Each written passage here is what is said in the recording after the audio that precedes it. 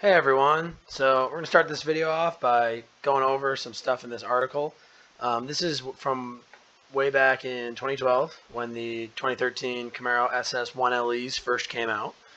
Um, basically, you know, it, it, does a good job of kind of reviewing it and going over all the specs, but one of the things I want to focus on is this.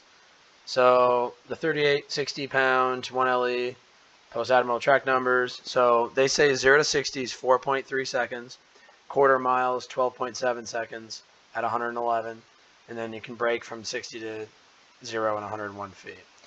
Um, so what I wanted to test the last few days here is this these numbers, right? The 0 to 60 and the quarter mile time.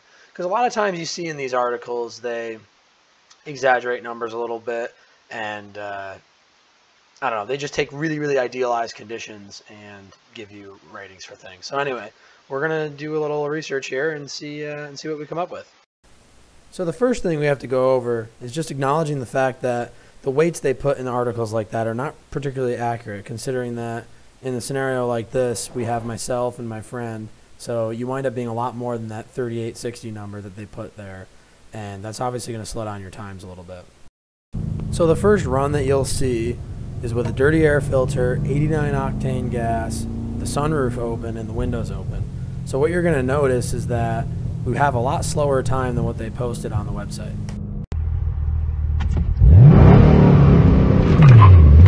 See, I don't like that.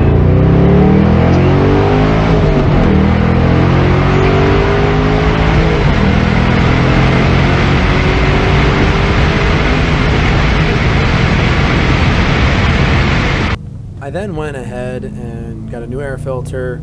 We had the sunroof closed, windows up, and you'll see the second run prove to be much better, but it's still pretty difficult to hit some of the times that they list in these articles.